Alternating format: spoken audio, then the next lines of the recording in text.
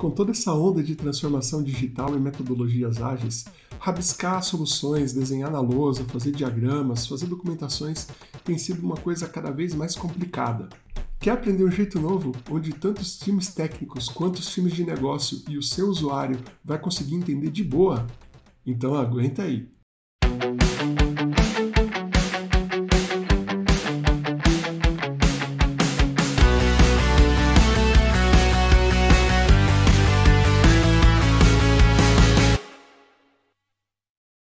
Legal, pessoal? Para quem não me conhece, eu sou Pisani da Arc e nós vamos falar hoje na nossa aula top sobre MDL, que é uma notação simplista, minimalista e que ajuda demais desenvolvimentos, principalmente microdesenvolvimentos, fazendo uso, por exemplo, de MDA, que para quem não conhece é, significa abordagem de microdesenvolvimento. Inclusive, essa anotação foi concebida exatamente pelo mesmo grupo que criou isso tudo. E de verdade, é uma novidade muito bacana. Eu mesmo, depois que comecei a usar, não consigo mais viver sem. Ela tem só dois tipos de visão, tá? A gente chama elas de View Context. E o bacana é que também tem pouquíssimos elementos e pouquíssimos conectores. Para o primeiro tipo de visão, que é a visão tecnológica, né, nós chamamos elas de Technical View Context, nós temos somente seis elementos e três conectores. E são eles: o user. Ele é basicamente o mesmo elemento da UML, tá? E esse carinha, ele serve para representar tanto um usuário, uma pessoa mesmo, como uma inteligência artificial. No MDL não é legal representar um sistema externo, um serviço com ele, tá bom? Essa aqui acho que é uma das grandes diferenças. Não tem problema, mas não é legal, tá? Não é assim que a anotação funciona. Daí a gente tem o quadradinho, esse quadradinho representa o front-end, né? É, então qualquer tipo de tela, interface, é, a gente representa com esse quadradinho, tudo bem? Aí nós temos essa elipse, né, que ela representa um serviço. Então, tanto microserviço como Web API ou qualquer tipo de, de back-end, tá? Esse carinha serviria para representar. Basicamente, a gente usa muito ele para representar microserviço mesmo ou Web API, tudo bem? Aí a gente tem o quadradinho preenchido, é, que representa um black box, né? Por que black box? Ele é um, uma caixinha preta, né? Que em linhas gerais é algo que eu não quero representar no meu desenho, né? Ou seja, isso aqui pode ser um, uma aplicação, pode ser um, web service externo, qualquer coisa externa que eu não quero representar, é, mas que é importante para o meu desenho, que ele dá input no meu desenho, ou que eu faça um output para ele, é, eu represento com esse elemento tudo bem? Bom, depois a gente tem aqui o database, né, que serve para representar exatamente qualquer tipo de instância de dados, tanto relacional quanto não relacional, né, seja ela pequenininha ou grande. E por fim a gente tem um elemento representado pelo trapézio, que representa os batches, tá? É, então qualquer tipo de processamento assíncrono, aquele processamento que, que executa-se automaticamente, né? É, esse carinha a gente representa com essa forma tudo bem? Agora falando de conectores. O primeiro deles é o link, tá? Ele é extremamente simplista também, ele é só uma setinha, né? Uma, é uma linha reta com uma setinha na ponta.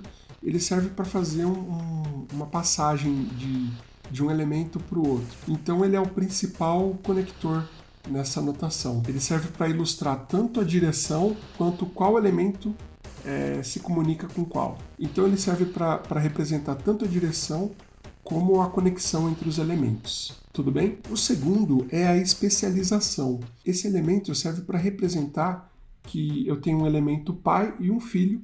Né? Esse elemento filho ele herda todas as características do pai. E por fim, a gente tem o elemento da composição. Quando eu quero dizer que o elemento pai é composto por elementos filhos, né? ou seja, eu tenho várias caixinhas ali que, que compõem um elemento maior, então eu uso esse conector. Uma outra coisa legal é que esses dois conectores, tanto especialização quanto composição, eu posso usar em conjunto com o link, tá? Porque normalmente quando você tem ali a, a, a herança ou a composição, é do elemento filho para o pai. Mas muitas vezes você quer representar que, o, que o, a direção que você está seguindo de, de fluxo é do pai para o filho. Então na outra ponta você coloca a setinha do link.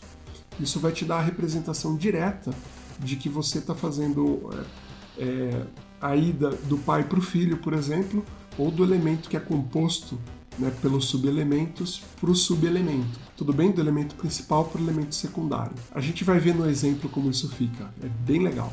Agora falando do segundo context view.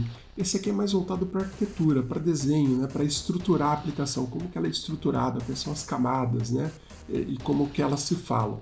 Assim como o anterior era para dar ali uma visão de como os elementos se relacionam, né, front-end, back-end, serviço, é, batch e usuário. Aqui a gente fala puramente de estrutura.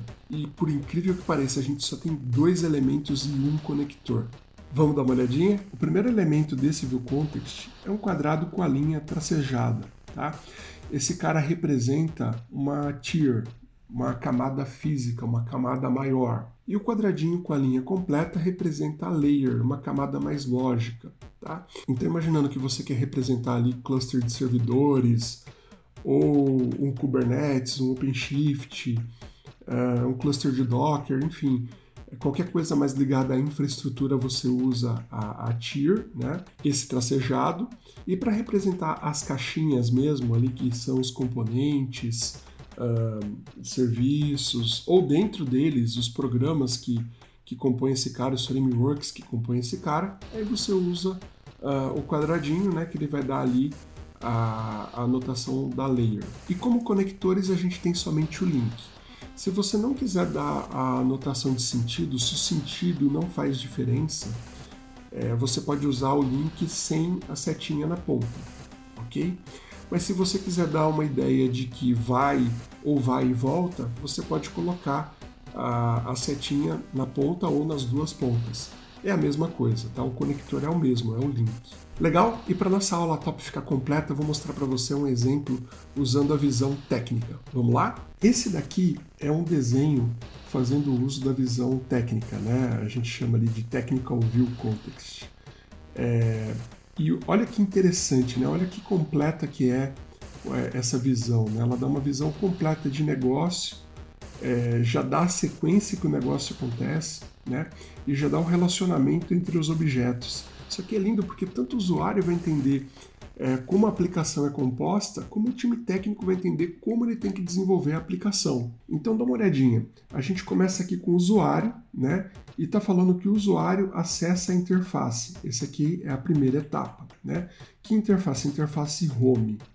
Aí essa interface ela solicita dados da promoção. Então ele bate aqui num serviço, né? Olha ali que é um círculo, uma API, uma API que consulta dados da promoção, né? Como terceira etapa, ele vai lá e bate num banco SQL Server que tem as informações de promoção, tá? E aí, como quarta etapa, ele retorna os dados da promoção para a telinha home. Depois, o que, que essa tela faz? Ela desenha, né, na quinta etapa, é, as opções da tela. Então observa que aqui a gente usou um símbolozinho de composição no conector, na ponta, e na outra ponta a gente usou o link, dando a ideia aqui de que a, a gente está indo da home para essa parte da home aqui que monta as opções de voto, tá bom? Então aí a gente tem um outro quadradinho aqui embaixo que representa uh, a composição da tela de cima, né? Isso aqui poderia ser uma partial view, qualquer coisa do gênero, tudo bem? mas ela contém ali as opções que veio do banco. Né? A gente está aqui na quinta etapa. Aí, como sexta etapa, a gente voltou aqui para o usuário. O usuário vai lá e clica em uma das imagens que é a qual ele quer votar. Daí, o que, que vai acontecer? Como sétima etapa, ele chama ali a API que registra os votos, faz o registro do voto e ele armazena um voto no banco de dados SQL Server. E como última etapa, ele exibe na tela, né, na interface, uh, voto registrado com sucesso. Então percebe que aqui a gente não tem excessos de setinha, né? Não é, poxa, eu bati no banco, eu tenho que dar a resposta do banco. É, o númerozinho ali ele dá exatamente para onde eu tenho que pular. Né? Eu volto para o ponto que me interessa ali, eu, eu, continuo de acordo com o número. Então, é, numerar e colocar a, a informação do, do que está acontecendo na mudança de um, de um elemento para o outro é bem importante para tornar o MDL rico. Então, o legal dessa visão é que você pode rabiscar de boa numa lousa, bater uma foto e colocar no documento. Ela já vale como uma documentação, numa anotação aí válida, tá? E o legal, né, que o, seu desenvolvedor vai entender, o seu usuário vai entender. Depois, quando alguém precisar abrir essa documentação, poxa, abriu a documentação, tá claro o que cada elemento faz, o que, que o usuário está fazendo, o que, que o usuário vai fazer na aplicação. É muito legal mesmo. E aí, curtiu? Na próxima aula top, a gente vai fazer um exemplo um pouquinho mais completo, incluindo a visão de camadas também. Então, eu espero que esse vídeo tenha feito sentido para você e que vá ajudar você a fazer desenhos com maior qualidade e mais próximos dos seus usuários. Se fez sentido, clica no joinha para dar aquela força para a gente e se inscreve no nosso canal, com o sininho ativado. Um forte abraço e até o próximo vídeo.